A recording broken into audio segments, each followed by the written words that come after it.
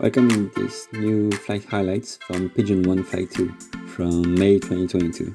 This flight was powered with the Aerotech motor F47W. It was the first time for me flying with the Aerotech RMS motor and it was quite an experience, uh, quite similar to the um, Cesaroni motor, like the bigger one from Pro 75 where you have to assemble the grain and the, the propellant reload basically.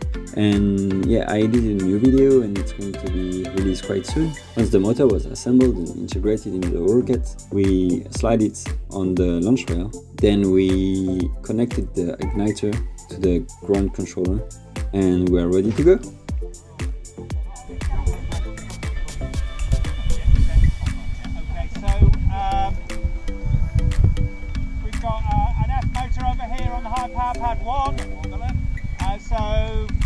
clear in three, two, one, launch.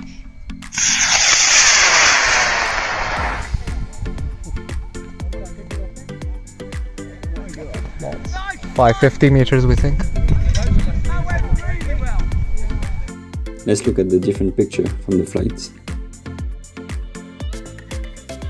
Ignition, only a few pictures and then the rocket is out of sight. Let's watch this with the tracking on. One, launch.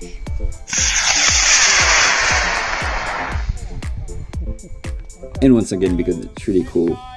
Three, two, one, launch.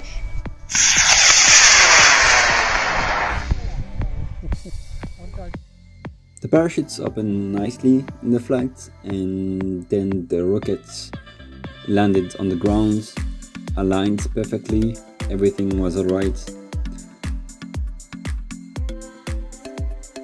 A little scratch on the nose cone, but nothing dramatic.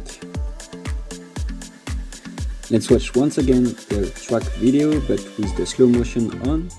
It's not very smooth because of the tracking I've done manually, but it's fine, we can cope with that.